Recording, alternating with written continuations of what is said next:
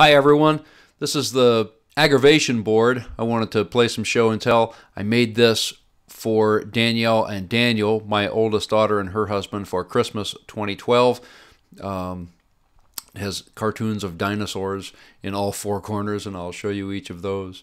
Um, the material wise, this is half inch particle board that has been drawn on and then painted and urethaned a few times. The balls are an inch and a quarter wooden balls. You can just buy them in the wooden materials aisle at Hobby Lobby.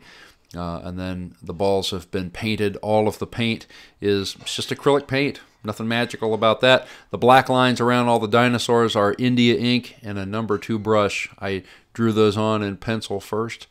And the type was all done with a Sharpie after I just sort of made some top lines and bottom lines and figured out where all the type went. But it was a labor of love, as these always are. But um, we were so glad to give it to them. Carrie and I sat up and painted all of the balls just a few days before they got in last week before Christmas.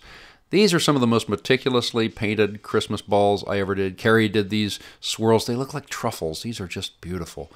Um, all the balls are just fun to paint. Um, I think they, they they are most interesting when you can get multiple colors on them. Carrie did another set of circus balls and said, "Tell me you promise me that you'll never let me do that again." These are just some little tiki heads. That's gel medium over the top of that. Uh, so and with just acrylic faces on them. I just thought they turned out beautiful. Gel medium is so shiny. Tiki head balls. Angry you know, aggravating. Be aggravating with your balls. Um, anyway, some polka dots and some flowers, and I just like the look of all of those things. The kids said those look like Death Stars to them, something um, evil empire kind of thing. Anyway, there it is. Merry Christmas, Danielle and Daniel. We love you. We had such a nice time and a visit with you.